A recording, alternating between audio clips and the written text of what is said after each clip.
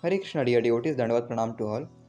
So today we are starting with a new book, The Path of Perfection, which is written by His Divine Grace A.C. Bhaktivedanta Swami Srila Prabhupada. So today we are starting with introduction. When we see a book with a title like Path of Perfection, we may react with a bit of common skepticism. Oh, another book claiming to give all the answers.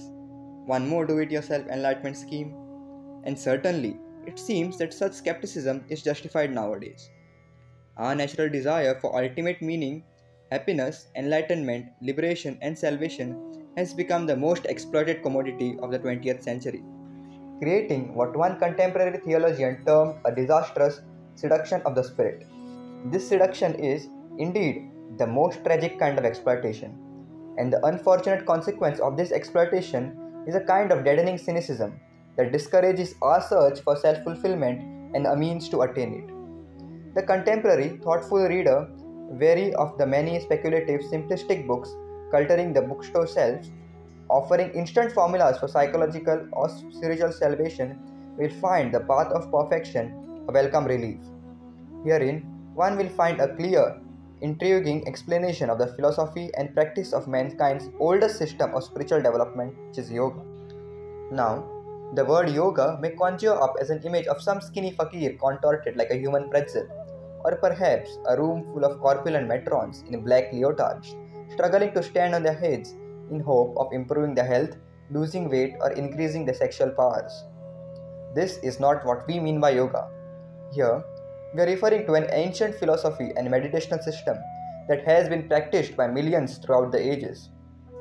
What has, in modern times, been reduced to a commercially exploited technique of bodily agility and pseudo meditation was once a comprehensive and easily applied form of self realization. The path of perfection consists of a historic series of talks, elaborations on a previously published commentary by His Divine Grace A.C. Bhaktivedanta Swami Srila Prabhupada on India's greatest spiritual classic, the Bhagavad Gita. In these absorbing talks, Srila Prabhupada explores deeply the philosophy of yoga as explained in the 6th and the 8th chapters of Gita, showing clearly how these timeless teachings apply to 20th century mankind. Srila Prabhupada's talks probe questions concerning the nature of consciousness, techniques of meditation, karma, death, reincarnation, and even spiritual ecstasy. The Bhagavad Gita, described by one contemporary psychologist as a remarkable psychotherapeutic session, appears to us in the form of an extraordinary dialogue between Lord Krishna, who is the Supreme Personality of Godhead, and his warrior disciple Arjun. Perplexed and confused about his identity and purpose, Arjun turned towards Krishna, who reveals the path of perfection to his able student. The essence of Lord Krishna's teaching is that one must become a yogi, that is, one whose life is centered on the practice of yoga. And what is yoga? The Sanskrit word yoga literally means union and refers to the union in love between the individual consciousness and the supreme consciousness, the self and the superself, the soul and God. Yoga is, indeed, the path of perfection because it aims towards this most exalted human attainment.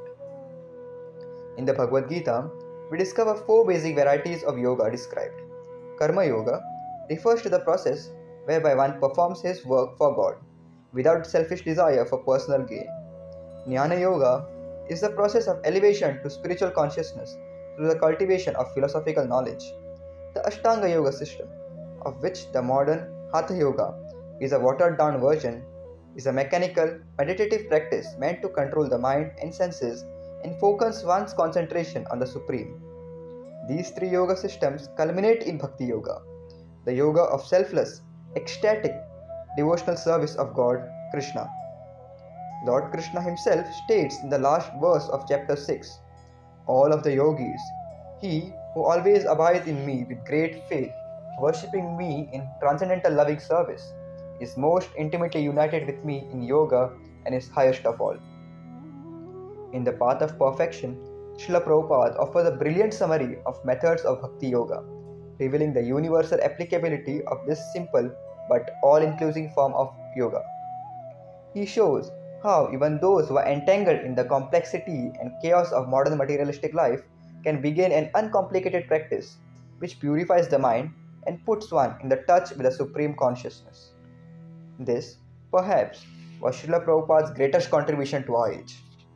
Srila Prabhupada was acknowledged master scholar of India's ancient spiritual culture and of its linguistic foundation, the Sanskrit language.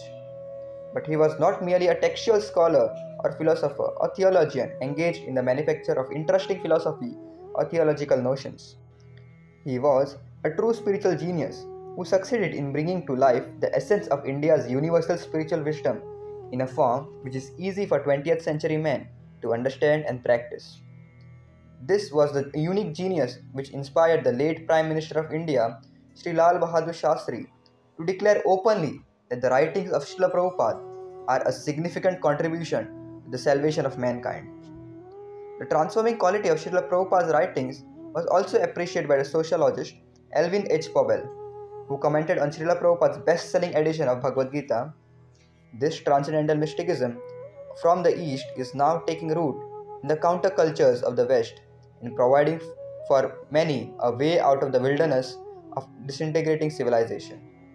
If truth is what works, there must be a kind of truth in Bhagavad Gita as it is, since those who follow its teaching display a joyous serenity usually missing in the bleak and strident lives of contemporary pe- people. Important note about Mayavad Mayavadi Bhashya Shunile Haya Sarvanasha. Anyone who hears Mayavadi philosophy is doomed. Written in Chaitanya Charitamrita Madhya Leela 6.169. Throughout his books, Srila Prabhupada repeatedly speaks out against Mayavadis. The term Mayavadi is often misunderstood to mean a materialistic person who delights in pleasures of this world. But actually, Mayavadi means a follower of Mayavad. Mayavad is another name for Advaitavad or Adi Shankaracharya. According to the Mayavadis, Krishna and devotional service to him, that is bhakti, are all products of Maya or illusion. They believe that everything is one and that the goal of spiritual life is to become one with God. They are impersonalist. They think that God is formless, nirakara. They do not accept that the highest reality is the personality of Godhead, Sri Krishna. In different forms and names, Mayavad has spread throughout India and beyond. By diverting people's attention away from the personality of Godhead and giving them false hope that they can become one with God, Mayavad has created havoc in the spiritual life of the world. Therefore, Vaishnavacharyas, especially Sripad Ramanujacharya, Sripad Madhavacharya, and Bhagwan Sri Chaitanya Mahaprabhu staunchly oppose Mayavad. Using evidence from Shastra, scripture, and common sense logic, they have systematically refuted Mayavad by exposing the numerous fallacies on which it is based. The correct understanding of the absolute truth is that Krishna or Vishnu is supreme. This is directly established by Lord Krishna in Bhagavad Gita and is thus accepted by all Vaishnava philosophers. Krishna is the supreme personality of Godhead. He is not formless. He is eternally situated in his transcendental form, Satchidananda Vigraha. The topmost understanding of transcendental reality is that God is a person, and all other living beings who are jivas are his servants eternally. Therefore, we should not try to become God, but simply accept our subordination and surrender to him. Srila Prabhupada, in the tradition of great Vaishnava Acharyas, always stood opposed to Mayavad. He repeatedly and forcefully exposed the defects and absurdities inherent in it. Reference to Mayavad and Mayavadis are made throughout Srila Prabhupada's books, but for a thorough analysis of this subject, readers should refer to his book Teachings of Lord Chaitanya. Thank you very much. Hare Krishna.